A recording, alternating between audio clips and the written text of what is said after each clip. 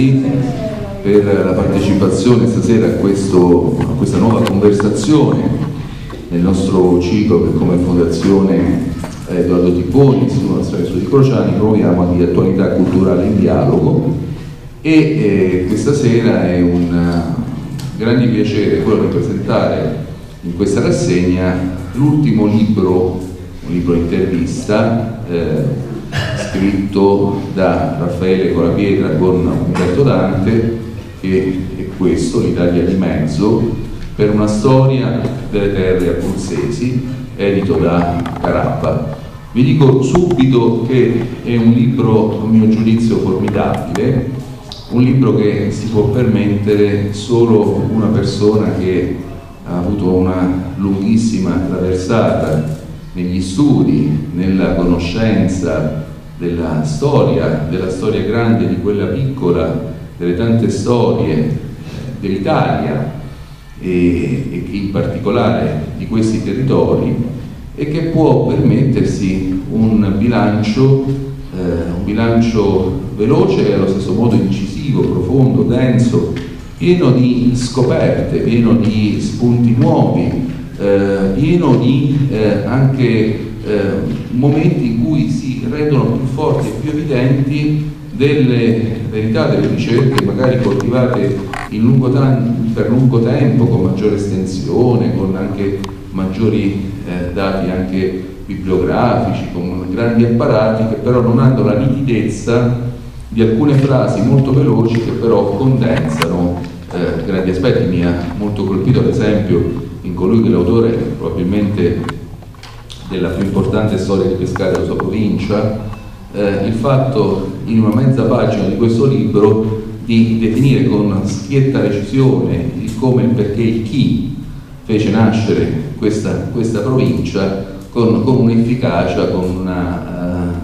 uh, forza uh, tagliente che non gli era riuscita nemmeno in quella, grande, in quella grande opera e lui stesso tutto sommato ne prende atto con una certa, con una certa soddisfazione. Io non amo particolarmente l'enfasi, anche se questa è una classica dichiarazione da luogo comune, ma veramente questo è un libro che secondo me ogni abruzzese minimamente consapevole, minimamente interessato a capire la sua regione dovrebbe leggere. Bisognerebbe trovare una maniera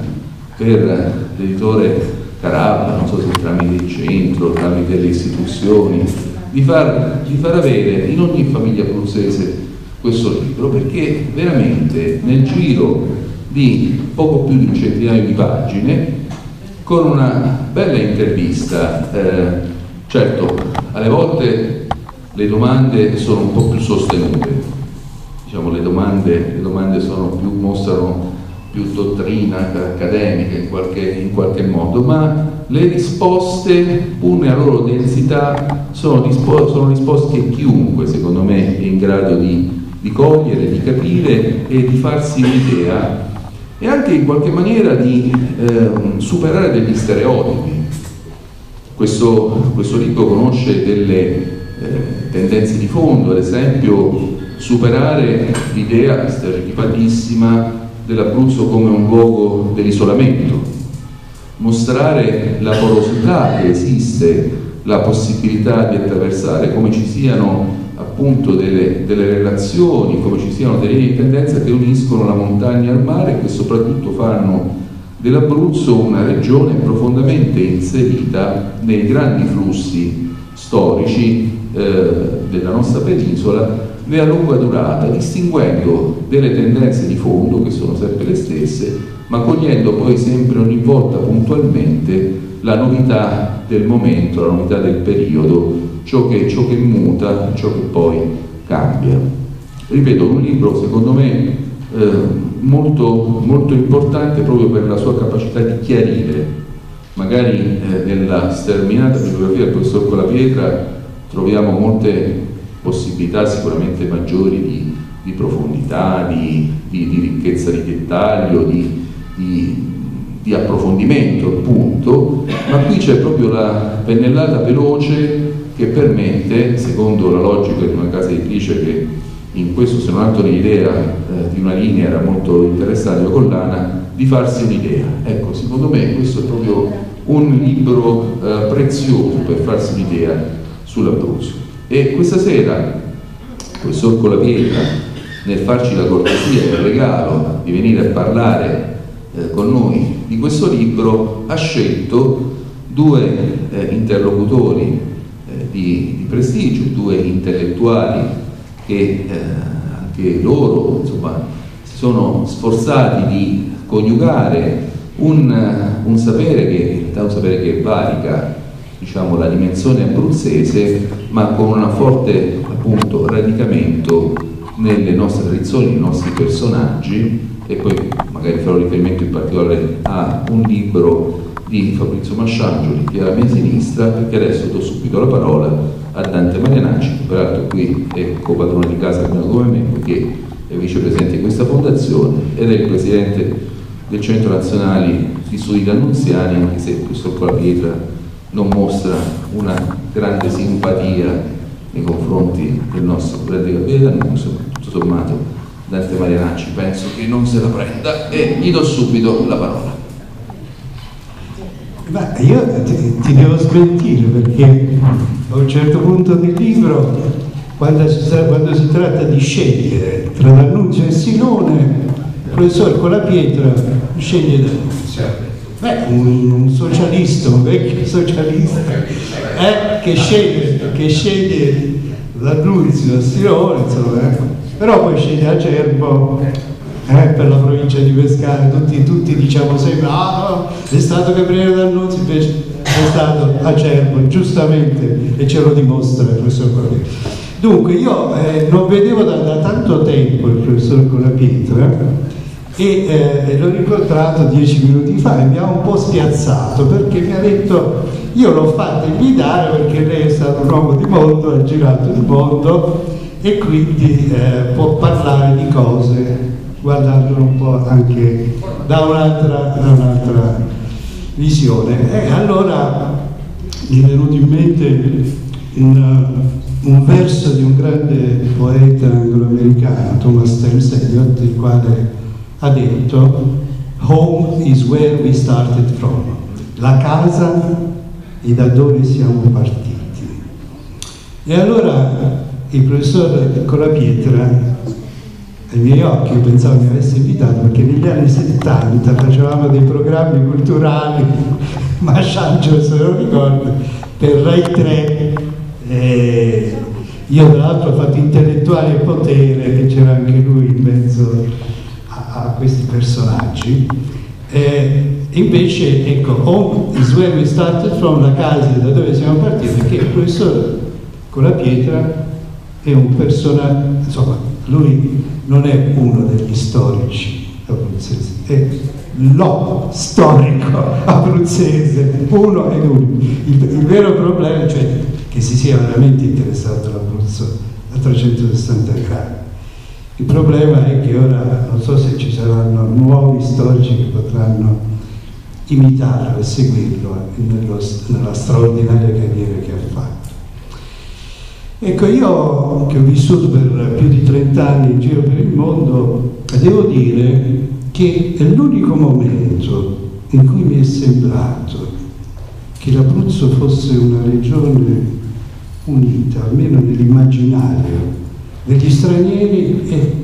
purtroppo subito dopo il terremoto dell'Aquila, perché all'estero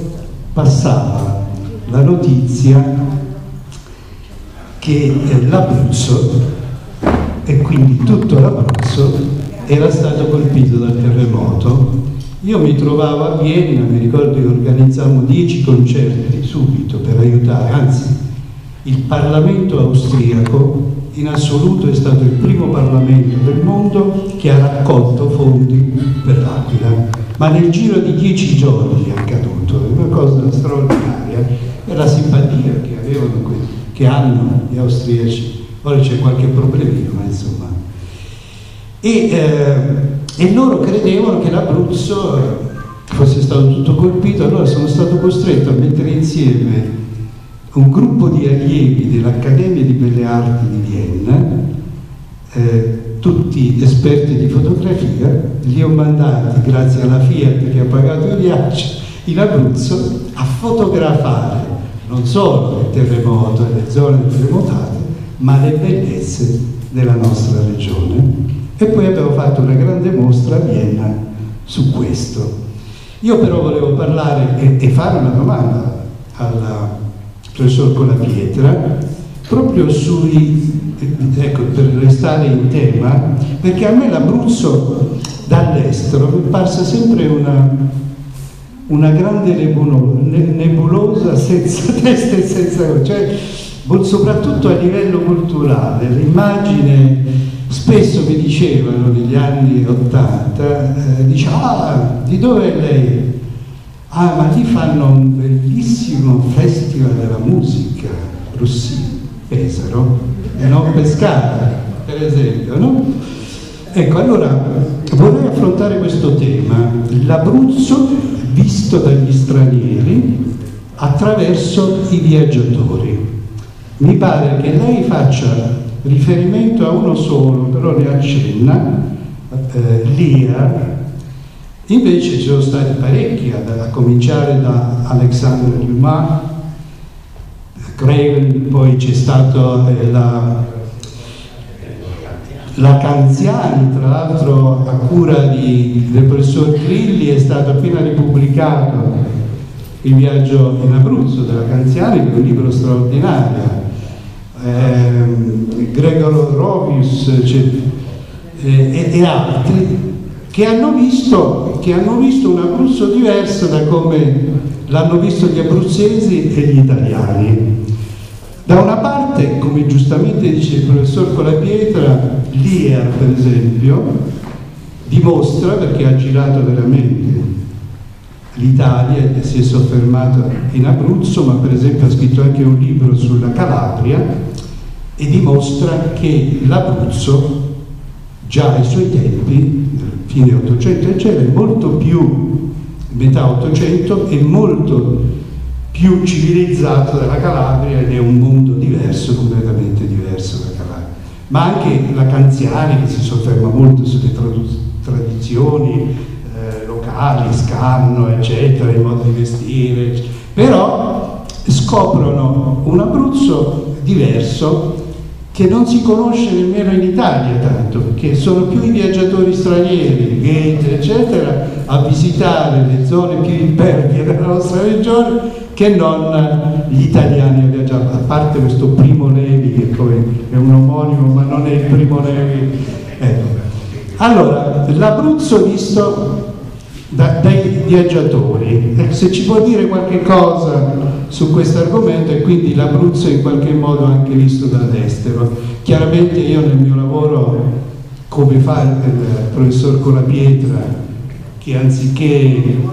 vivere con grande successo, perché in giovinezza era già un, un grande storico, Colapietra l'esperienza dello storico nazionale che si interessa, lui si è anche interessato moltissimo di cose nazionali con contributi anche molto significativi, però a differenza di molti altri abruzzesi, come lo stesso D'Annunzi che abbiamo citato, Silone, Laiano, Pomiglio e quasi tutti insomma sono andati fuori dall'Abruzzo per realizzarsi. Invece ecco, è incommiabile il fatto, è ammirevole il fatto del professor Colapiedra, che professore, come sapete, all'Università di Salerno, è voluto tornare in Abruzzo, restare in Abruzzo nella sua aquila e studiare a fondo la storia della nostra regione. Però la domanda era l'Abruzzo visto dai viaggiatori. Si può aggiungere qualcosa a quello che, che, ha, che ha già detto nel libro? Dunque, anzitutto si deve vedere per quello che può interessare colto pubblico che è qui presente, che io non ho scelto di venire in Abruzzo, sono stato indotto da circostanze particolari, personalissime, altrimenti non l'avrei fatto. Ho dovuto accettare questa sorte, questa come dire, psicologica e psicanalitica, nello stesso uh, sentenza, con animo forte. E l'alluaforte mi è stato suggerito e in certo senso agevolato eh, da una circostanza del tutto occasionale, cioè che gli anni in cui io sceglievo, ero indotto a scegliere questa soluzione provinciale aquilana, cioè gli anni 70, eh, rispondevano a un grande riferimento eh, per la cultura e per la storia della mia città, che è l'Aquila, e cioè il centenario della morte dell'Antinori. L'Antinori è questo grande erudito settecentesco che ha dato un grande contributo alla conoscenza dell'Abruzzo medievale e moderno e che è, è per Aquila e per la regione è un punto di riferimento ineludibile. Allora, in prospettiva di questo centenario io ho mm, steso un'ampia rivisitazione della mia città dell'Aquila in chiave non erudita antinoriana. Ecco, qua ci può stare una novità nell'impostazione, negli obiettivi e il, il, libro, i due volumi si intitolano Strutture sociali ed urbane della città nel 5-600, cioè qualche cosa che presupponeva l'Antinori, che è vissuto nel secolo successivo, però poteva anche essere indipendente da esso. A me quello che è interessato è studiare la città in quanto tale, delle strutture sociali, delle classi, delle, delle, delle vicende politiche e, e strutturali di una importante città di provincia quale Avila nel 500-600 e poi l'aspetto urbano legato al grande terremoto del 1703, prima di esso e dopo nel corso della ricostruzione di quel secolo. E, e quindi questa è una forma, diciamo, particolare con cui io mi sono avvicinato all'Abruzzo e poi ebbi eh, eh la, eh, la, sorte e la fortuna eh, in quegli anni medesimi di occuparmi del Fucino nel centenario del prosciugamento e anche là una subregione significativa che aveva un suo significato tra 8 e 900 e che eh, concludeva un suo certo discorso molto particolare con la riforma agraria del 1950 e al tempo stesso del 1980 per la, uh, per, per la città di Pescara uh, un primo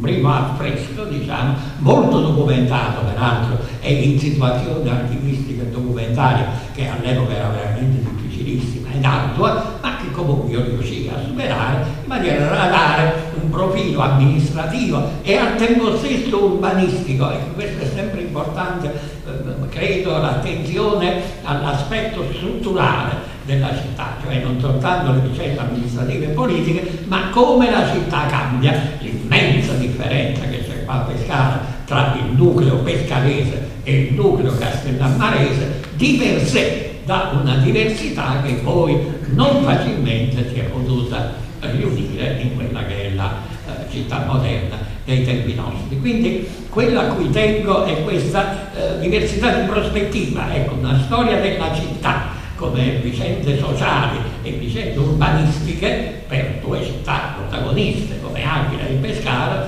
epoca diversa, non era stata fatta fino ad allora. Ecco, a, que a questa primogenitura di metodo, ecco, a questo tengo. Tanto più che, qua per rifarmi a quello che così cortesemente ha suggerito l'amico Dante Taglianacci, queste cose precedentemente erano state del tutto trascurate, eh, nel senso che l'Abruzzo viene scoperto. Ecco, adesso questo fatto dello scoprire una regione che sta a 100 km da Roma, che sta al centro della penisola, che non si può non attraversare per chiunque o con intenti pacifici o con intenti militari invada il regno di Napoli, è, è qualche cosa di sorprendente. È, la, la regione in certo senso viene scavalcata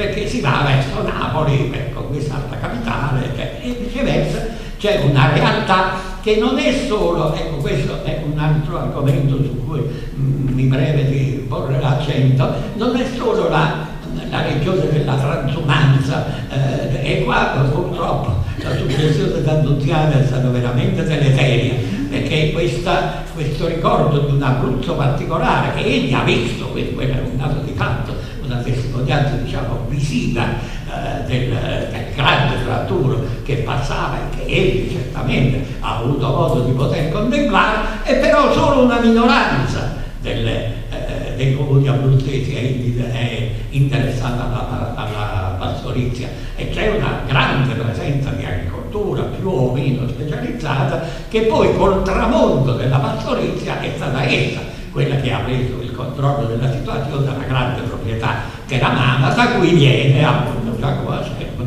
cioè una mentalità novecentesca, una mentalità di sfruttamento del territorio nel senso delle ricchezze eh, che non, non sono trascurabili eh, anche dal punto di vista certamente agrario. Che cosa porta questo? E questo è di grande importanza e credo che anche in questo caso ci sia una novità nella mia impostazione, la necessità, dico necessità di una classe dirigente specifica, cioè gente, nel caso della pastorizia, che rispondesse al tribunale di Foggia, che aveva con la, eh, il sistema della dogana una giurisdizione particolare, quindi notai, dottori di legge e uomini esperti che potessero andare a, la, non a caso si chiamava la deputazione della, della, della transumanza, ecco, dei, dei, la generalità col termine catalano, eh, generalità adesso si parla di generalità dei locati. E allora questo, eh, cioè sentirsi come un mondo particolare, egemone, più ricco, più potente e più preparato culturalmente, che è venuto meno fra 7 e 800, ma è stato sostituito da un ceto di grande, altrettanto notevole importanza che è il ceto agrario teramano, che è quello che Giacomo Cervo sostanzialmente cioè la grande proprietà di una regione naturalmente ricca come l'agricoltura seramana, la quale è stata e sarà sempre ricca perché ha delle eh, prerogative particolari, che è consapevole di questo suo ruolo egemonico e lo esercita eh, nel governo, eh, della, nel primato della regione, da cui viene poi la soluzione a cui è stata accennata. Ecco, questo fatto, diciamo, di strutture della città eh, di, di, contrasti o comunque dialettica sociale all'interno della città, di eh, sviluppi urbanistici che cambiano le città, le cambiano profondamente, questo discorso si potrebbe fare anche per altre città come sul Moda per esempio, sul Moda che ha uno sviluppo che si ferma a nord perché non c'è motivo di andare verso Santo Spirito e verso la Conca Piligna, mentre si sviluppa verso sud perché sud c'è la montagna e verso la montagna c'è l'altopiano sostanzialmente e nel corso del Medioevo e prima età moderna la città si sviluppa in un senso determinato che rispecchia meglio la vocazione armentaria, la vocazione pastorale della città. Ora i viaggiatori venuti eh, eh, hanno questo senso della scoperta di qualche cosa che la regione, eh, lo indico, la regione più settentrionale del Regno di Napoli, cioè praticamente una specie, eh, come dire, di, eh, di anticamera dell'inferno si potrebbe dire in certo senso come il limbo dantesco, cioè qualche cosa, eh, dopodiché viene Napoli eh, e poi viene il profondo sud, eh, appunto l'aspetto asperrimo della Calabria o l'aspetto indolente della Puglia. Questi sono stereotipi come voi ben comprendete, con un fondo di verità innegabile in cui l'Abruzzo fa appunto da anticamera sostanzialmente, quindi si tende a superarlo perché senza tenere presente quelle che possono essere le sue specifiche caratteristiche che risentono necessariamente almeno in una parte dell'Abruzzo, e qua parliamo dell'Aquilano e della Marsica, di Roma. Ecco, questa faccenda di Roma è di, di primaria importanza, perché in ogni caso, sia pure Roma inaccessibile, perché circondata dalle pagute, dalla malaria e infiniti altri motivi che rendevano questa grande città capitale del nord cattolico, ma difficilissima capitale perfino del Regno d'Italia, fino a epoche relativamente recenti, fino alla fine dell'Ottocento, primi del Novecento, e però è un dato di fatto che non solo dal punto di vista religioso, culturale, ecclesiastico, ma proprio di vita sociale, è decisivo per una grande parte dell'Abruzzo, almeno, ripeto, la parte sabina, aquilana e marsicana. E allora l'Abruzzo viene preso in questa forma, insomma, è come qualche cosa che anticipa il profondo sud, ma non è il profondo sud, è un qualche cosa di mezzo rispetto all'Umbria e alle Marche, non è più l'Umbria e le Marche, non è quel tipo di agricoltura specializzata e non è però il latifondo, non è però la grande foresta e allora soprattutto essendo venuti questi viaggiatori nel corso dell'Ottocento, cioè in periodo soprattutto, quindi in un periodo di trapasto e hanno colto degli spunti ma spesso hanno trascurato delle cose importanti. Cose importanti che, e qui chiudo questo mio intervento, è stata colta da Gabriele D'Annunzio, effettivamente io sono indotto, mio malgrado, perché non lo amo, questo è notorio, in altra circostanza vedo che voi per vostra bontà eh, non siete insorti minacciosamente,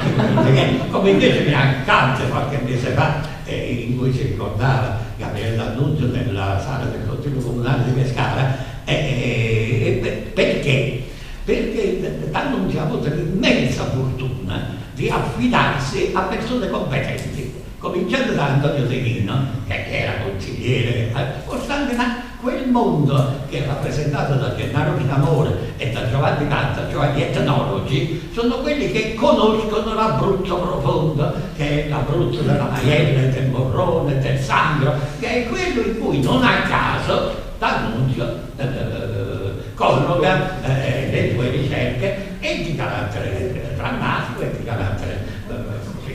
poetico, evocativo, eccetera. Quindi è lo stesso, praticamente la Giacomo Sottimoggi, pur sporgendosi nell'acqua del, del, fiume Sagittario, Sagittario e Scanno praticamente questo Abruzzo eh, profondamente segnato dalla natura in forme incisive, in forme drammatiche. E ora questo è di grande importanza perché è, il dialetto che poi la poesia locale abruzzese eh, è intorno a, a, questa realtà. Io sempre ho visto in due città importanti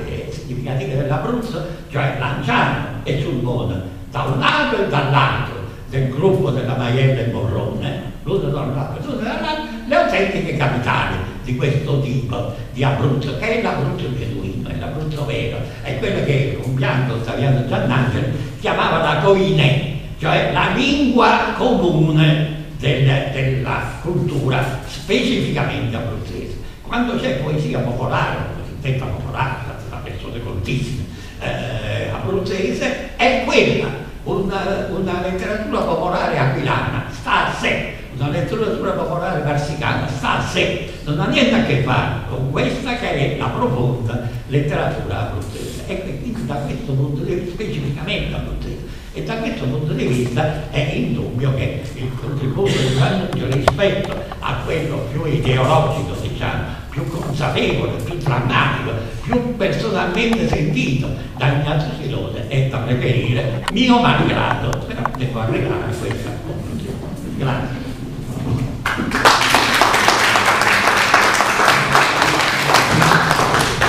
Grazie, eh, dicevo appunto un, un, libro che non manca di eh, spiazzare in qualche momento, perché una caratteristica, e vengo all'intervento di Fabrizio Masciangioli, eh, perché tutto sommato eh, Raffaele Pedro non mi ha spiegato perché avesse scelto i due interlocutori, però tutto sommato, siccome Fabrizio Masciangio ha pubblicato l'anno scorso per la casa editrice Rubettino un libro anch'esso molto importante per ricollegare i fili della storia abruzzese che è sul cammino della modernità, protagonisti abruzzesi dell'Unità d'Italia al secondo dopoguerra, lo ha scritto con Franca De Leonardi, ispettore Rubettino. Eh, in questo libro, nel libro di Cola Pietri, i personaggi abruzzesi ci sono, ma non sempre sono particolarmente elogiati, o sono un po' strapazzati i grandi personaggi della, della Pulsesità. Ad esempio c'è un aneddoto che ricorda con la Pietro, con la Pietro stesso di Mattioli, meno male che non vedo Giacomo stasera, che a un certo punto nel, nel, eh, nel il giovane, il giovane, il giovane con la pietra eh, doveva scrivere un saggio su Croce e eh, Mattioli, non so se fosse forse anche il finanziatore della pubblicazione, eh, proprio, proprio, doveva esserlo. Eh, dove quindi ci vuole questo era interessante. Gli dà appuntamento a Roma in Santa, a Piazza Santi Apostoli e gli domanda, nel, nella, nella conversazione, gli domanda Raffaele che stai leggendo? Glielo chiede in dialetto pastese, Raffaele che stai leggendo? E lui gli dice sto leggendo Spaventa e lui gli dice quale, quale dei due? Quale, quale Spaventa? E dice Bertrando. Eh, se Bertrando è un fesso, è un fesso, è un fesso, è un fesso. Che c'è una certa tendenza abruzzese un po' a sminuire, a sminuire tutti. Il dottor Tiponi ricordava sempre con fece l'aneddoto di quel visitatore che era venuto a pescare cercando la casa di D'Annunzio e non la riusciva a trovare, malgrado fosse arrivato vicino a Piazza Garibaldi, c'era uno, uno che lavorava davanti alla sua bottega, poi gli si rivolge e gli fa devo trovare casa D'Annunzio e questo continuando a lavorare e disinteressandosi di quello che insomma, di questa richiesta gli fa ci ne sta dando D'Annunzio a pescare e quello, quello gli dice ma, ma come? Gli fa quello ma come? Oh, questo dottor Tibonio mi dice raccontate sempre un gusto. Ma come? Io dico io dico il poeta. Allora questo sempre senza guardare gli fa ah l'ufes di Gabriele. Sta, sta alla rete quindi una tendenza di fondo. Allora volevo chiedere a Fabrizio Masciangioli eh, come avendo un po' lavorato in, questo, in, questo, campo eh, come, come, ha trovato questa trattazione con la pietra da di questi personaggi abruzzesi grandi e controversi. Ne approfitto anche per salutare perché c'è una sua presenza il professor Stefano Trinchese che è il prorettore delegato ai rapporti di costruzione culturale ci fa piacere di averlo qui lo ringrazio. Prego. Grazie grazie anche per la citazione del libro che ha un merito credo abbia un certo interesse perché un, inizia con un'intervista che noi facemmo al professor Colapietra sulla sua lettura diciamo, del Settecento, in particolare della fine Settecento come fase di transizione, poi se ci sarà occasione magari ci soffermeremo anche su questo perché in questo ultimo testo mi è sembrato di cogliere una sfumatura un po' diversa rispetto a quella ha ma detto questo, il giudizio del, sul libro, io un, un, dialogo tra due storici, eh, uno storico diciamo assoluto con la S maiuscola come con la pietra e uno studioso di grande struttura come Umberto Dante, per me come dire, è assolutamente difficile dare un, dare un giudizio. A me è piaciuto soprattutto una cosa, è piaciuta al di là dei contenuti, poi cercheremo magari di analizzare qualche aspetto, mi è piaciuta però l'idea, questa struttura, questo il dialogo, perché il dialogo ha permesso a questi due studiosi di mettere in campo una caratteristica, sono due studiosi che hanno cose, diciamo, hanno elementi di diversità forti, eh, per tante cose, non solo l'aspetto politico che viene chiarito diciamo in prefazione. Una qualche eh, sì, con una qualche, con una qualche nettezza anche se poi secondo me la differenza non è tanto quella diciamo del socialista e del conservatore ma secondo me forse è un'altra va bene appunto eh, ma al di là di questo però ci sono però degli elementi e al di là dell'amicizia amicizia, del rapporto amichevole che si è poi creato, ci sono degli elementi, c'è un elemento soprattutto che io vedo come un elemento che li avvicina molto ed è l'assoluta libertà della loro ricerca scientifica, fuori anche certe volte da alcuni meccanismi, schemi e canoni. Questa libertà è una libertà che ha portato con la pietra ad un viaggio nella storia nella storia non solo abruzzese ma nella storia del nostro paese che è assolutamente straordinaria. Con la pietra è davvero un, un unicum in un settore come quello della storiografia dove si tende invece a specializzarsi molto su segmenti piccoli. No? Con la pietra ha spaziato in un arco di storiografia enorme che va dalla prima età medievale fino ai nostri giorni, fino al contemporaneo. E Umberto Dante invece si è più concentrato sulla contemporaneità, anche se, come dire, ha analizzato altre parti, per esempio la fine del Settecento, i massisti, eh, eccetera. Eh, ma anche lì c'è stata una libertà nel senso che a un certo punto poi ha cominciato a mh, integrare queste sue conoscenze con altre, ha cominciato a occuparsi di storia della comunicazione con un, una particolare attenzione al ruolo narrativo e di analisi storica dell'immagine, per esempio. No? Ecco, allora questa ampiezza, questa libertà di, di per, ha permesso soprattutto al professor Colapietra, e in questo libro viene fuori in maniera prepotente, la capacità di leggere il lungo periodo dei fenomeni, il lungo periodo, cioè analizzare le grandi questioni della storiografia eh, abruzzese con l'occhio del lungo periodo, di colui cioè che ne sa recuperare le radici più lontane per rispondere, per come dire, in qualche modo prendere coscienza del contemporaneo, della realtà di fronte alla quale noi ci troviamo. E molte questioni, le principali questioni essenziali della storia abruzzese vengono affrontate con questa prospettiva di lungo periodo. Però poi alla fine, professor Colapietra, a me pare che il problema dei problemi sia uno, e da qui io vorrei partire almeno con la prima questione cioè la possibilità di definire l'interrogarsi intorno ad un'identità abruzzese, un'identità unitaria o comunque che abbia una sua compattezza. Oppure la, una, una conclusione diversa, cioè l'inevitabilità di una identità frammentaria, spesso contraddittoria dell'Abruzzo che in realtà si costruisce nel tempo soprattutto con un meccanismo duale, soprattutto con un dualismo. La montagna all'interno contro la costa, l'Aquila contro Pescara, la valorizzazione dell'ambiente contrapposta allo sviluppo industriale e soprattutto all'economia del mattone. Ecco, è, è, veramente impossibile, perché questo è un problema grande, un problema tra l'altro secondo me grande per la politica, il problema dell'identità di una regione è davvero insolubile il problema, dobbiamo veramente rassegnarci a questa dualità che non arriverà, non può arrivare mai a sintesi.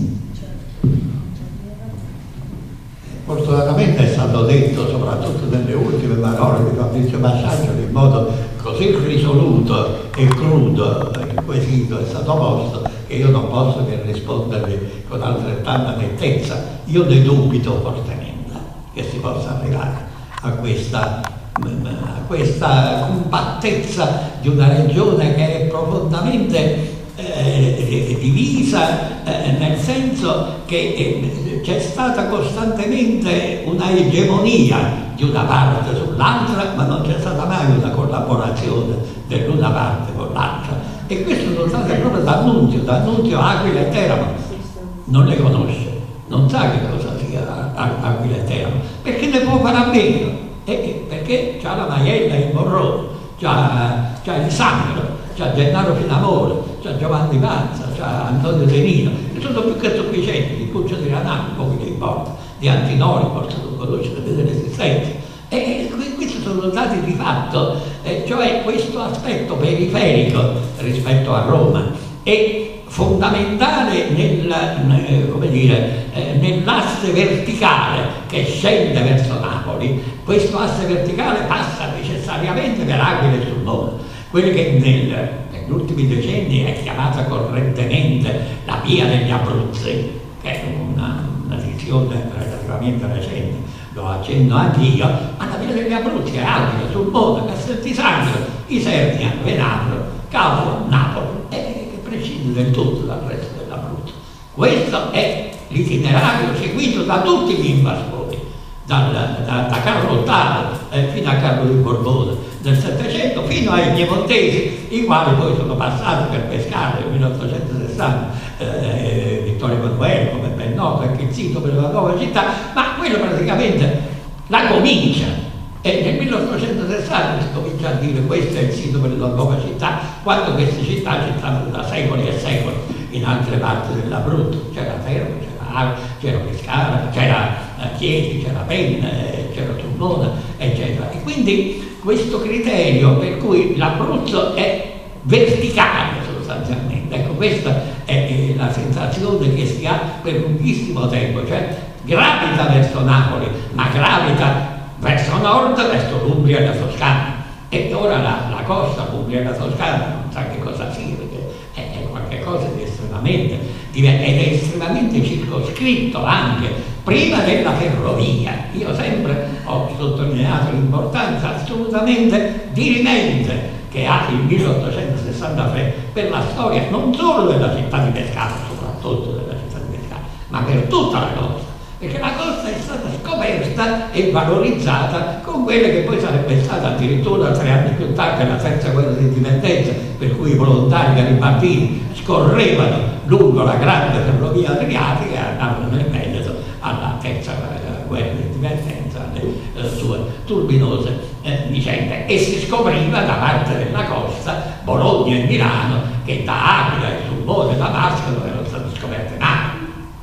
Questa è la differenza che la corsa gravita partendo dalla Puglia, e qua parliamo delle cantine sociali, partiamo della viticoltura, partiamo dalle novità di carattere commerciale, imprenditoriale, soprattutto concentrate sul vino e sull'olio, e queste sono cose, tra l'altro anche pugliesi, fiorentissime nel teramano soprattutto, ma comunque la, il contributo pugliese di cantine sociali, cioè qualcosa di nuovo, di ottocentesco, di democratico, di radicale, che va a finire a Bologna e a Milano. Bologna non solo per l'università, ma perché Bologna è un grande centro eh, eh di carattere eh, eh, sociale, di carattere culturale. Eh, Bologna, mi si consente così, la civetteria è la città che dà il, la cittadinanza onoraria a Riccardo Wagner nel secondo Ottocento, cioè scopre la novità della grande musica romantica tedesca e contro la conservatrice Milano che sta ancora legata a Verdi e alla tradizione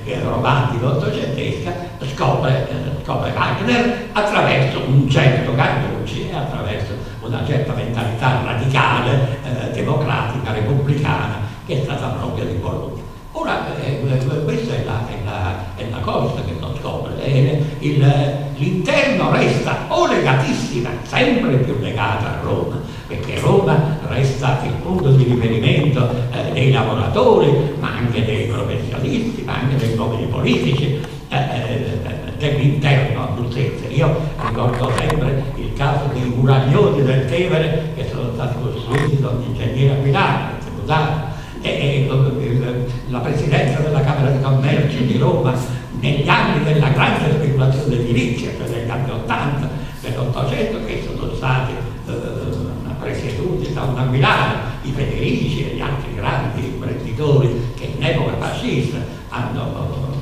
sono stati protagonisti del rinnovamento fascista di Roma, via dei fori imperiali, via dei fori dell'impero, come lo si voglia chiamare. Allora questa presenza fortissima a Roma e questo progressivo distacco da Napoli. E per cui Napoli è la, è la capitale, diciamo, formale, e però si può fare a meno di Napoli. Di Napoli possono fare a meno un po' tutti, tranne Roccarato ma Roccarato è scoperto dai napoletani a scopo turistico, solo a scopo turistico, insomma, non c'è una scoperta di un Abruzzo legata a Roccarato, Roccarato è solo uno strumento per la grande, eh, chiamiamola anche speculazione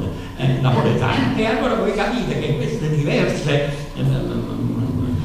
queste diverse pressioni queste eh, tendenze, queste influenze eh, no, non solo differenti, ma anche che vanno in senso eh, quasi opposto l'uno all'altro, quando sì che la, il criterio unitario della regione eh, sia, sia, molto difficile. E il criterio dei tre Abruzzi, eh, come si è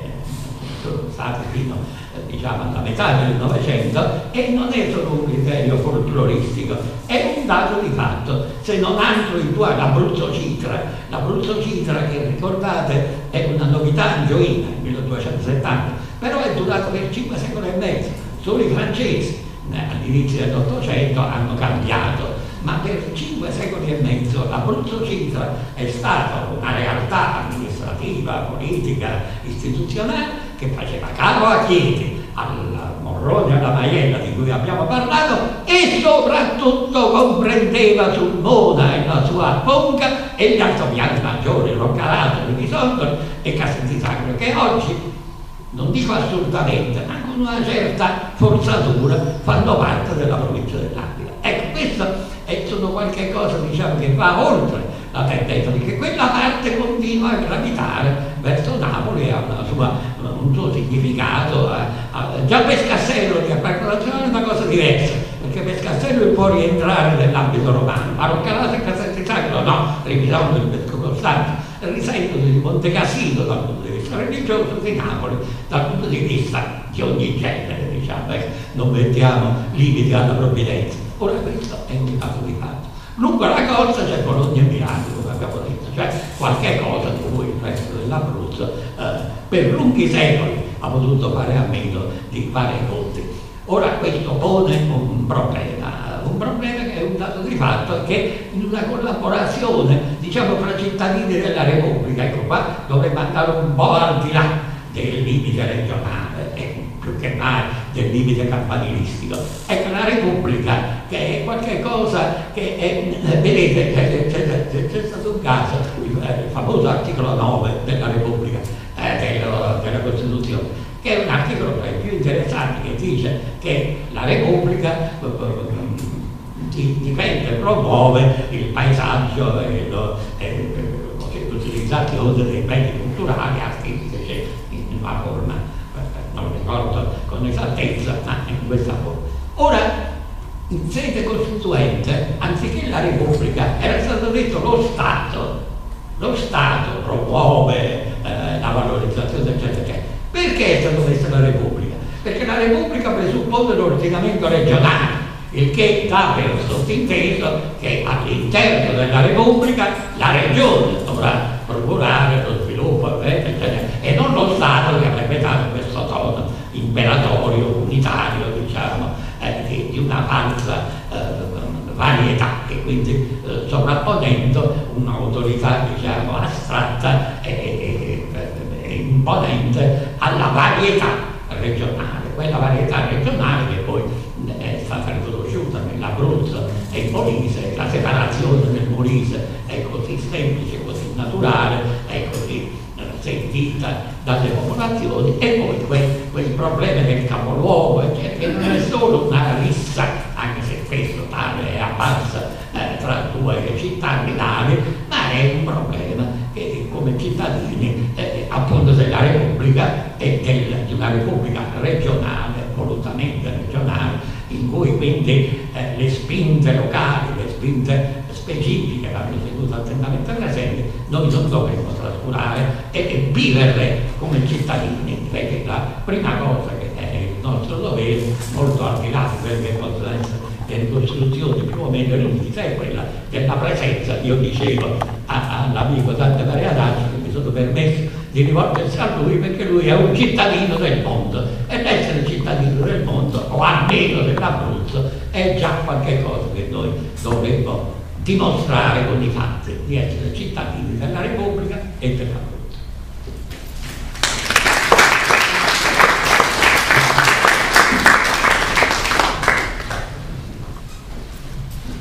Eh, professore, allora però io mi ponevo questa questione. C'è una realtà quindi storica e di, di dinamiche anche socio-economiche che determinano questa identità frammentaria, soprattutto dualistica direi. Però è anche vero che al dire, il tentativo di, non dico costruire o immaginare un'identità unitaria, ma comunque di trovare dei punti di sintesi e di mediazione da parte del ceto politico, mi pare che siano stati piuttosto scarsi. Cioè, io trovo che c'è storicamente, o comunque questa è un'opinione che le sottopongo, perché, diciamo, eh, i tre grandi, come dire, le, tre grandi, le tre grandi leadership politiche che hanno guidato questa regione, quella liberale nel periodo immediatamente postunitario, il fascismo e poi la democrazia cristiana sostanzialmente eh, nel secondo dopoguerra, ecco, tutte queste, tutte queste tre leadership, questa è la mia impressione, come dire, hanno accettato una posizione che era dal punto di vista della, proget della progettualità subalterna rispetto al centro nazionale, cioè hanno in qualche modo barattato il, il consenso sul territorio, il controllo del territorio rispetto ad una, anche quando si sono mossi a livello alto, ministeriale, perché l'Abruzzo ha avuto anche personalità politiche di grandissima importanza, che però di fatto non hanno inciso, non sono riuscite a portare l'Abruzzo dentro una progettualità nazionale, ma hanno subito quella che era la progettualità del ceto politico nazionale. Ecco, è una mia impressione o, o c'è della verità in questo? È proprio questo il problema che si pone, tra l'altro, in maniera vistosissima all'indomani dell'unità, e quando l'unità di tipo piemontese o comunque di tipo tardo francese sostanzialmente, il punto di riferimento è sempre quello giacobino e napoleonico dell'inizio dell'Ottocento, col prefetto, con le prefetture, con le sottoprefetture, eccetera. quindi un tipo fortemente eh, di Stato accentrato e autoritario eh, in tutta Italia, e però il problema non si pone minimamente diciamo tra l'8 e il 900, eh, in cui la, la varietà dell'Abruzzo e, diciamo, la, l'essere circoscritto la classe politica al proprio collegio elettorale è un, è un dato di fatto. Uomini come Silvio Spavento, senza dubbio un uomo più notevole che abbia prodotto l'Abruzzo nella seconda metà dell'Ottocento in campo politico, sconfitto a vasto eh, e alla testa più esattamente che era il suo collegio elettorale, si trasferisce a Bergamo e a Bergamo continua a essere eletto deputato finché poi è senatore scompare nel 1893, cioè non risente minimamente de, de, della sconfitta eh, locale né cerca di affermare una sua autorità più che locale nel caso eh, della, del collegio eh, originario. E così nel caso della Marsica ci sono personaggi, il principe Sciarla per esempio, ha importanza perché ha fondato la tribuna, tra l'altro, quindi eh, diciamo anche dal punto di vista giornalistico, moderno, di diffusione di una certa cultura quotidiana, Roma, cultura politica, è deputato per molti anni eh, della Marsica, anche ad Avila ha lasciato segno di sé con nuovi con nuova eh, visione urbanistica, e però la è Avila e alla Marsica e non altrimenti. Nello stesso fascismo noi, noi assistiamo a questa spartizione di compiti tra Giacomo Acerbo e Alexi Sereno, e i quali siedono praticamente a, a, a posti di, di, di, comando diversi peraltro. E questo notate perché è significativo, cioè Serena coltiva il partito,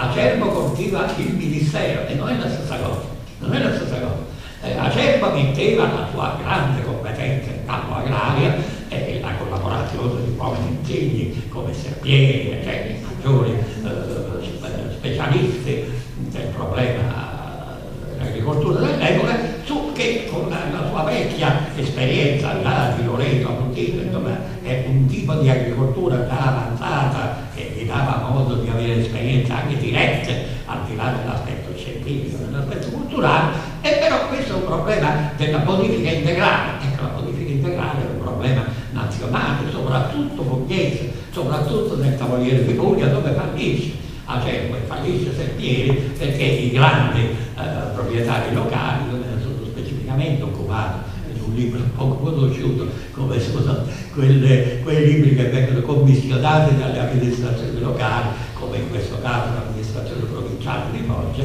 che mi chiese la capitata del periodo fascista e io mi sono occupato di quella ed è molto interessante il fallimento di questa visione nazionale. Serena sta nel partito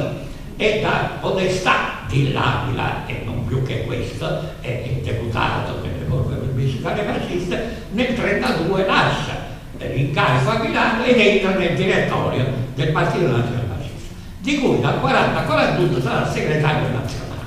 e ministro dei lavori pubblici per un anno, ma questo Ministero dei lavori pubblici non fa che concludere certe operazioni anche urbanistiche aquilane, ma di secondaria importanza sostanzialmente. Quindi voi vedete che anche l'impostazione, la divisione che è stata per scontata eh, Serena si dedica ad Aquila e ad Aquila si non ha, non ha altri interessi. Una presenza di questo personaggio, eh, certamente autorevolissimo, nell'Abruzzo del sud se ne accorge. Per Acerbo già è diverso perché c'è questo retroterra di carattere proprietario, teramano e chiedino, che o d'accordo con lui o in più o meno eh, palese disaccordo, e però si raccoglie una, un ceto dirigente eh, di carattere appunto agrario, di carattere proprietario, ecco, proprietario che ad Acre non esiste, cioè la proprietà terriera ad Acre non è mai esistita, non ha mai avuto una funzione determinante. Il fugido è il fugido, è Torloni, quindi il fascismo non ci mette peso in quella. Cioè Noto Fontana che ha sistemato la situazione, quindi non si entra più in in questi problemi. Questo a maggior motivo poi avviene nel, nel secondo dopoguerra, insomma, anche in questo caso probabilmente questo mi, sia consentito dirlo, meriterebbe un approfondimento, tentativi di carattere regionale, cioè di spingersi al di là eh, del, dell'ambito municipale, del campanile, sono stati fatti da due uomini politici a Milano, cioè da Lorenzo Natali pratica democristiani e da eh, Netto Mariani in campo socialista. Questi due uomini politici hanno almeno tentato di avere un loro seguito, una loro presenza largamente regionale. Eh, Gaspari ha avuto così poco che essendo venuto, mi si contenta questo aneddoto personale, che essendo morto un nostro imprenditore a Milano, eh, lui legato da amicizia evidentemente, e, e nella chiesa di Santa Maria Magana, maggiori italiane, eh, mia madre trovandosi a passare, eh, vide Gaspari eh, che si trovava là dentro e andò e si mise anche lei in prima fila, proprio restando eh, stupefatta che questo personaggio fosse venuto ad Avila, sia pure per motivi del tutto contingenti, perché sembrava incredibile, come era incredibile che Gaspari potesse apparire ad Aquila e consapevolmente, anche senza che eh, Gaspari si pronunciasse mai, lo ricordo del libro, come deputato di Pescara, quale aveva dichiarato di essere Giuseppe Spatato, non è stato mai, poi farà, è patrono, però questo fatto di farsi paladino di una città, ecco, e, e Gaspari in una forma diversa, c'è un, una fortissima presenza gaspariana anche nella provincia dell'Aquila. Io ho dei tristissimi ricordi a questo proposito che dimostrerebbero, se me ne raccontassi, non lo posso fare per svariati motivi, la credine violentissima, denigratoria che c'è all'interno tra le fazioni democristiane, tra i nataliani e i gaspariani. È difficile definire a, a quale, a si, si, si giungesse. Quindi questo è anche diciamo, un degrado eh, del livello politico di partito e per cui eh, la, la, la, democrazia, come si diceva, nemmeno la democrazia cristiana era praticamente un sistema che veniva preso nelle, nelle forme più clientelari e paternalistiche possibili. Dopodiché eh, penso che eh, sunt leones, come si diceva un tempo, e dopo che ci furono questi gatti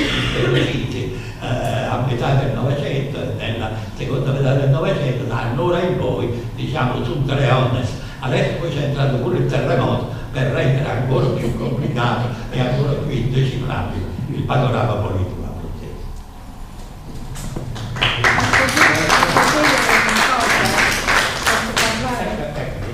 Quando ero bambina mi raccontavano storie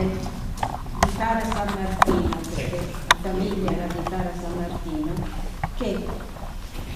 c'erano i briganti che camminavano su, sui monti e arrivavano a Napoli, però a Napoli facevano delle merci. Allora i briganti, quando poi avevano avuto i soldi, gli mozzavano la testa, secondo, secondo quello che dicevano nella mia, mia famiglia, che poi mettevano la testa in un tovagliolo, lo legavano e lo riportavano alla famiglia. Oh, non so no, no, se era una favola per fare l'impressione, costume dall'epoca, perché solo in questo modo si poteva essere certi dell'esito Questo lo faceva anche lo Stato eh, legalmente, cioè per essere certi della scomparsa di un brigante bisognava portare la testa del brigante e così in questo caso eh, diciamo, la, la, la, il ricatto, quel che fosse dall'altra parte. Questo però dipende più dal costume che da altro, eh, fa parte diciamo, della efferatezza dei tempi. Ma questo libro è, è, talmente stimolante che le domande che mi porre sono parecchie. Però voglio riprendere un attimo l'aneddoto che ha raccontato Marco a proposito di D'Annunzio per dire come tutto il mondo è paese. Io a Praga mi hanno raccontato, per, la verità l'ha scritto in un racconto un grande scrittore praghese, Bohumil Ravala, una volta un turista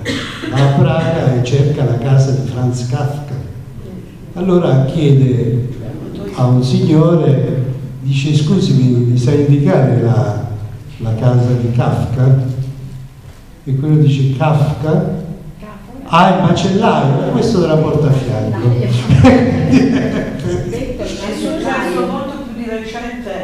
si fa per dire, a me negli anni Ottanta sono andata a Praga, ho chiesto dove era la casa di Kafka, il tassì che mi portava mi ha detto io però non mi fermo e mi ha indicato quella che doveva essere questa casa dove che avevano trasformato almeno il pian terreno in lavanderia. Ma io non mi fermo, mi ha detto. Eh, ma guarda, potrei raccontare, io ero lì in anni, quindi insomma, sono c'era il comunismo. Eh, eh, eh certo, certo, è di lingua tedesca. Allora, io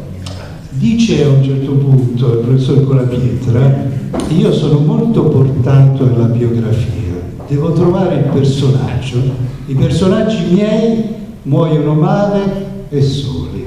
Ecco, poi è sconfitti anche. Io ti voglio chiedere qual è il suo personaggio ideale, visto che ne ha affrontati molti. Ma vorrei anche porre un'altra domanda, ne ha parlato insomma anche un po'. Eh, il ruolo della ferrovia nello sviluppo della civiltà abruzzese, cioè quello della costa che ha unito il sud al nord e l'altro verso Sulmone e Roma, la costa subito dopo l'unità d'Italia, mi pare nel 1863. Ecco, se da una parte la ferrovia ha avvicinato a grandi centri come Bologna e Milano, dall'altro ha portato anche un certo colonialismo in Abruzzo e parlo dei centri di produzione culturale, cioè delle università. Negli anni 60 nasce la libera università, no? E eh, io ero studente un po' dopo, ma insomma, se vi dico il mio professore di letteratura inglese era Carlo Itz e veniva da Bologna. Il professore di filosofia era Agrimi e veniva da Napoli. Il professore la Lecce, il professore di letteratura italiana veniva da Bari ed erano tutti professori che arrivavano a Pescara o a Chieti o a Teramo, facevano la loro lezione e poi ripartivano per Napoli, per Milano, per Bologna, per Bari, per Torino.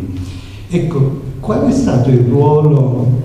perché mi pare che non se ne parli molto in questo, in questo libro, il ruolo dei centri che dovevano essere di produzione culturale intellettuale, ora ci sono molti professori abruzzesi naturalmente nelle università abruzzesi, ma allora non ce n'era nemmeno uno, a fare, non so, detto ma pochissimi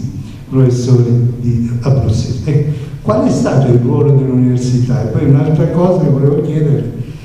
il ruolo delle, della pubblicistica in Abruzzo, le grandi riviste, come le grandi riviste hanno contribuito allo sviluppo della cultura abruzzese e penso soprattutto alla rivista abruzzese di Giacinto Pannella che mi pare sia un punto di riferimento obbligato per la pubblicistica abruzzese. Scusi, tre domande in una, ma insomma. Anche perché sostanzialmente il discorso della ferrovia eh, si,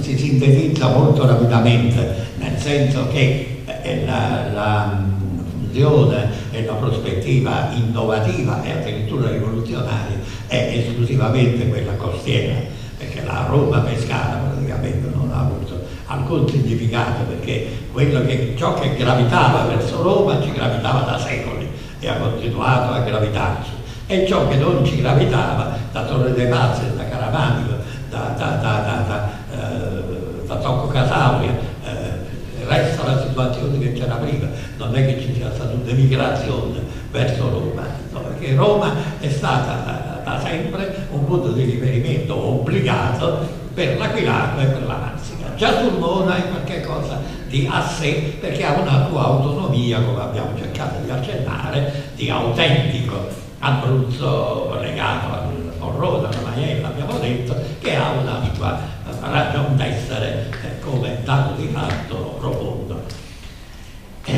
all'università, questo è un, un, argomento che ripeto che penso, che credo eh, resti aperto necessariamente perché ha avuto questo carattere coloniale, evidentemente coloniale, e tra l'altro anche moralistico, perché nel caso aquilano di Rivera eh, eh, il magistero femminile è stato istituito per sottrarre le ragazze alla tentazione e ai pericoli del soggiorno a Roma, quindi proprio con carattere da, da educantato, insomma, perché purtroppo questa mentalità paternalistica, e diciamo paternalistica e clientelare, era un dato di fatto eh, abbastanza diffuso. Né credo che eh, la, la, soluzione eh, che chiedi all'Università Gabriele D'Annunzi sia stata granché diversa, anche là trattandosi di personaggi come per esempio lui indimenticabile Ettore Baratore che è stato diciamo, uno degli interpreti ma era legato a Chieti solo dal ricordo del padre che ci aveva insegnato era morto naturalmente della madre che anche questa Chieti di direttrice scolastica era sepolta a Chieti. Quindi ha un carattere puramente eh, sentimentale legato semmai a quella meravigliosa epigrafe che qualcuno di voi, voglio sperare, ricordi l'esistenza, che stava nella biblioteca provinciale di Meis, che non so che, che fine abbia fatto, tra l'altro, quello là è su Basilio Corleone, eh, no, l'epigrafe, insomma, adesso, eh, l'epigrafe non so che fine abbia fatto al di là del, dell'edificio e quindi ha questo carattere, diciamo, molto, eh, come dire, se non epidermico, perché poi ha, ha avuto ed ha tuttora un'azione intensissima dal punto di vista numerico, ma dal punto di vista diciamo, di sviluppo di una determinata cultura abruzzese, cioè eh, l'attenzione a, a, parte alcuni, a, alcuni casi, mi ci ha consentito qua perché so pescare, non posso, tempo, farà meglio di dirlo, il carissimo il Lutz, amico Lorenzo Bartolini Saliberi, nel campo dell'architettura religiosa abruzzese, ha fatto lui, perché l'ha voluto fare lui, insomma. Ecco, se si dovesse dire qualcosa di simile ad Aquila, c'è Fabio Reti che si sta occupando benissimo di archeologia medievale, ma è legato a interessi personali di persone che poi fortunatamente da, per motivi del tutto personali restano a lungo e si dedicano sistematicamente a queste ricerche. E però noi abbiamo avuto ad Aquila parlo di Aquila perché ne ho più diretta nozione Roberto Roversi che è, è il più illustre studioso di San Bernardino da Siena, che come voi sapete è, stato con Santa Caterina eh, benemerito per far rimanere la lingua italiana viva nel secolo del latino, che è il 400. Nel 400 si parlava solo latino, praticamente il volgare, dopo Boccaccio e Sacchetti, praticamente a livello colto andava scomparendo, mentre le prediche di Bernardino e di Caterina mantengono vivissimo il senese che poi si riaffaccerà successivamente. Ebbene, lunga, eh, il lungo soggiorno di, di Roversi ad Avila, dove è sepolto San Bernardino, non ha portato assolutamente a niente, perché non avendo Roversi più interesse di occuparsi di San Bernardino, nessuno gli ha chiesto di dare un contributo, di dare a, a certe cose tipicamente aquilane un suo contributo aggiornato e autorevole e quindi è stato un personaggio, un professore come tutti gli altri e, questo avviene frequentemente, insomma, è inutile fare nomi e fare esempi. quindi una cosa specifica eh, diciamo di valorizzazione di cose abruzzesi, ecco c'è stato in provincia di Teramo c'è stata quella cosa del Crugnola, eh, cioè quella, quella, ricerca che già fino all'Ottocento fu fatta di tutti gli aspetti della provincia di Teramo, eh, cominciando da quelli strutturali, agricoli, eh, imprenditoriali e anche politici e folclorici, che è stata riprodotta dopo un secolo, aggiornata se non altro, però anche là non credo che la presenza dell'università sul tessuto molto cambiato dalla provincia di più di carattere imprenditoriale oggi che non di carattere proprietario, come è stato per lungo tempo. Del resto questa eh, proliferazione delle università di ogni specie, di ogni livello, ecco, di ogni eh, diciamo, credenziale possibile e immaginabile, è un fenomeno che si è verificato per lunghi decenni e che non, non accenna a mutare o a avere diciamo, diverso, un diverso statuto e una diversa articolazione. È un dato di fatto di cui bisogna prendere atto eh, senza che questo abbia né dal punto di vista culturale e nemmeno dal punto di vista sociale, che almeno potrebbe essere anche foriero di qualche risultato eh, più moderno, eh, qualche cosa di, di avvertibile. Sostanzialmente eh, partecipano molto più alla movida notturna eh, che non alla vita eh, culturale eh, della, della città. Questi giovani e i professori spesso ripetono ecco ripetono diciamo e ma credo che lo avrebbe potuto smentire. Il caro e illustre eh, amico Stefano Trinchesi che è così benemerito ma anche lui è benemerito di studi che vanno ben al di là dell'Abruzzo. Questo si è detto tra parentesi insomma e Stefano è un illustre studioso benemerito ma della Francia della, della Germania in campo internazionale e, che, che ci sia una bibliografia abruzzese che, che io sappia non c'è e ha fatto benissimo perché è un dato di fatto però è la scollatura che c'è la, la, la, vita sociale, la vita quotidiana della, Ponzese e queste strutture che ci sono, che hanno il loro significato, però più di carattere professionale in senso andante e che non di formazione culturale e di coscienza civile e culturale erudita, diciamo anche, della nostra punto di vista possiamo dire però non è risposta troppo posso dire una cosa? ecco professore ecco l'Aquila e i piedi volentieri come c'è. Però devo dire che le università se non hanno lasciato traccia nel settore letterario non lo so sicuramente l'hanno lasciata quello scientifico. Per esempio, eh, parlo prima dell'acqua e poi con qualche parola sulla denuncia. Beh, prima del terremoto c'erano almeno tre poli di eccellenza a livello nazionale. C'era la climatologia nella facoltà di fisica, c'erano tutti gli studi che abbiamo fatto noi nel Dipartimento di Scienze Ambientali che hanno portato poi all'istituzione delle aree protette. Quello l'abbiamo fatto noi, noi abruzzesi. E poi c'era a ingegneria un polo, eh, soprattutto nell'ingegneria meccanica ed elettrica, di eccellenza. Per esempio i,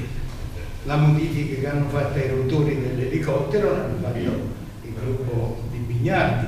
Ecco, la D'Annunzi invece si è specializzata soprattutto nel settore della medicina e della farmaceutica e con dei brevetti anche significativi. Io ho insegnato 18 anni in farmacia e posso dire che eh, nei congressi e, nelle varie manifestazioni diciamo, in cui si mette in evidenza la ricerca che si fa, eh, si avevano sempre risultati. Quindi le università abruzzesi è vero che all'inizio noi siamo stati colonizzati, io sono uno che posso dare testimonianza storica perché sono entrato nel 67 alla facoltà di scienze, però via via si è creato poi questa unità di, di presenza locale, regionale, eh, soprattutto nei settori scientifici. Con la pietra sicuramente si ricorda gruppo di Visconti che nella climatologia, eh, che peraltro, devo dire proprio per onestà di verità, è l'unico che è nell'Accademia dei Lincei, quindi di tutti i centinaia di professori che abbiamo girato qui nelle varie università, dalle lettere, agli inglesi eccetera, ci sta Guido Visconti che è accademico dei licei, proprio strutturato per... Quindi questo è un vanto perché Visconti non solo è nato all'Aquila, quindi in Abruzzo, si è laureato all'Aquila e quindi è un prodotto di eccellenza delle nostre università. Chiedo scusa. No, eh, no, è benissimo.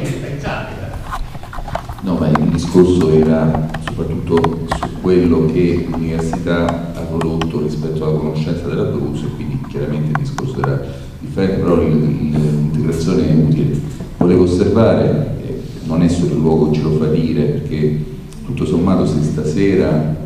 con la pietra ha scelto come interlocutori due che hanno collaborato con lui nella sua attività culturale rispetto alla RAI, c'è da dire che la RAI in Abruzzo veramente ha svolto questa funzione di produzione culturale e in questo non me ne vorrete il merito è di tutti quelli che ci hanno lavorato ma soprattutto di Edoardo Tiboni che poi ha concepito anche tutte queste istituzioni proprio con questo fine. Cioè, d'altra parte lo stesso Istituto Nazionale di Studi Crociani con i cinque volumi della storia d'Abruzzo dal Medioevo fino al Novecento di fatto ha dato un contributo fondamentale e, e che penso fosse utile riconoscere. Un altro intervento di eh, Fabrizio Masciangioli, però il professore sollevare il piede perché se no deve sollevare il piede se non si Allora, non so quanto tempo ci sia perché io ho tantissime cose, 10 minuti, allora mi avvio, eh, diciamo, scelgo la cosa più leggera, poi se c'è tempo magari torniamo su qualcosa di più sostanzioso. Ehm, allora, i grandi, i grandi letterati, no? Ehm, nel libro si parla, già abbiamo accennato, del, di D'Annunzio, del fatto che a suo modo il professor Colabiera preferisce D'Annunzio, perché dice che D'Annunzio ci fa conoscere l'Abruzzo, ma è il suo Abruzzo, che in realtà non era l'Abruzzo dell'epoca, cioè, questo è il piccolo, è il piccolo particolare, tant'è che nel libro il professor Colabiera ricorda anche un episodio molto bello, quello di questo deputato socialista Costinone che organizzava questi tour in macchina dei parlamentari eh, per far conoscere l'Abruzzo, no? E, erano parlamentari, erano giornalisti, la Serao, insomma. E alcuni di questi poi scrivevano delle, eh, delle recensioni rispetto a questi viaggi e a, a, alcuni di questi dissero ma noi siamo andati in Abruzzo, abbiamo fatto questo viaggio, pescare eccetera, molto bello, interessante, però cercavamo eh, i miei pastori eccetera e non li abbiamo visti, cioè non c'erano, non c'erano i miei pastori cantati poeticamente da D'Annunzio, quindi il problema. Eh, di Silone che viene messo diciamo un gradino sotto. D'Annunzio però dice una cosa molto bella molto bella eh, il professor Colipetta secondo me molto reale. E Silone non ci serve tanto per capire la storia delle battaglie sociali nel Fucino eccetera però il cafone di Silone è lo stesso Silone dice con la pietra che questo è bellissimo. Nel senso che il cafone siloniano non, ha, non, ha una, non, serve tanto per farci conoscere la storia delle battaglie contadine, eccetera, il terriere, contro i tornoni, però è una, è una metafora del conflitto, scrive la pietra, fra tirannia e coscienza, fra potere e sfruttamento. No? E quindi lì vive una dimensione che è una dimensione storica molto più grande di quello che è il conflitto sociale in Abruzzo. Ecco, però è non posso fare a meno di dirlo perché siamo qui al Media Museum, siamo nella patria di Flaiano, nella, nell'elencazione dei grandi scrittori eccetera, nella Trimurti manca, manca Flaiano. Però c'è la Bonanni. Eh, c'è la Bonanni che però viene un po' liquidata con una certa che non, secondo me non piace tantissimo al professor Colapietro. Però la Bonanni è già, come dire, mh, fa, mh, diciamo, dal punto di vista a proposito dei, dire, degli stereotipi, la triade abruzzese è D'Annunzio, eh, D'Annunzio Silone e Flaiano. Ora, eh, io mi, ecco, mi incuriosisce un po' questa cosa, perché c'è questa assenza? Eh, sicuramente Flaiano è, dire, è, molto romano, cioè sicuramente ha la sua, insomma, si è affermato, si è strutturato, eccetera. Comunque si è costruito come sua figura intellettuale già nella dimensione, nella dimensione romana.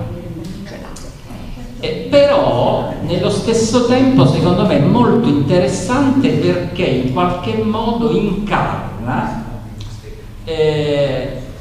incarna quel rapporto tra l'intellettuale che dalla provincia in qualche modo si misura e si inserisce e si colloca nel grande mondo della cultura e dello spettacolo come fa Flaiano rispetto al cinema, eh, eccetera. Cioè, voglio dire questo, il marziano a Roma, secondo me, è parecchio abruzzese, è una metafora parecchio abruzzese quella del marziano a Roma. Che ne pensa con la pietra?